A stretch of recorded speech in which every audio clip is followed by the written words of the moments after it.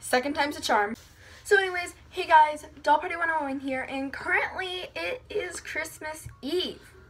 I know, already. You know what? We're doing a Christmas video. I need my Santa hat. Yeah, this is much better. But hey, other time zones, for some of you, I know it's already Christmas. Like Konnichiwa people in Japan, you are like 13 hours ahead of me. Whoa! So anyways, guys, today I'm going to be doing a retelling of one of my favorite Christmas stories. Twas the night before Christmas, and I'm going to be doing it with my dolls. Please don't copyright me. Uh, see, this, see, here, there's my credits.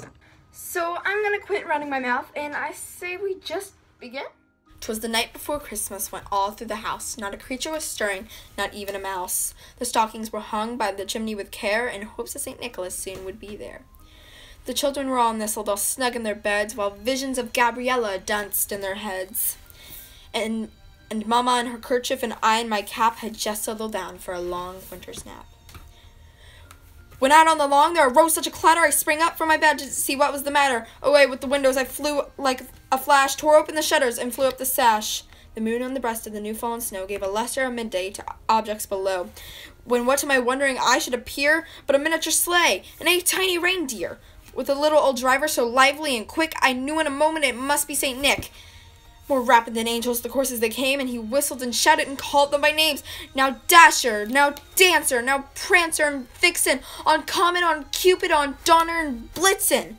To the top of the porch, to the top of the wall. Now dash away, dash away, dash away all.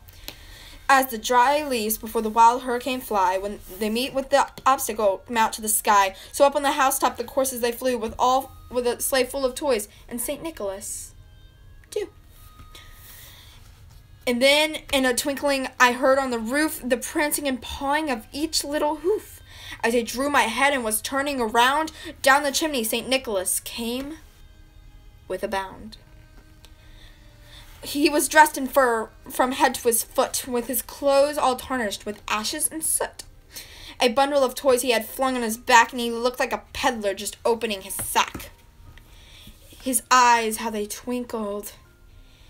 His dimples, how merry. His cheeks were like roses, his nose like a cherry. His draw little mouth was drawn up like a bow. Oh, and his beard on his chin was as white as the snow. The stump of his pipe he held tight in his teeth, and the smoke it encircled his head like a wreath. He had a broad face and a little round belly that shook when he laughed like a bowl full of jelly. He was a chubby and plump, a right jolly old laugh, and I laughed when I saw him, in spite of myself. In spite of myself.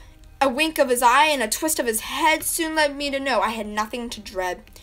He spoke not a word, and went, but went straight to his work. He filled all the stockings and turned with a jerk.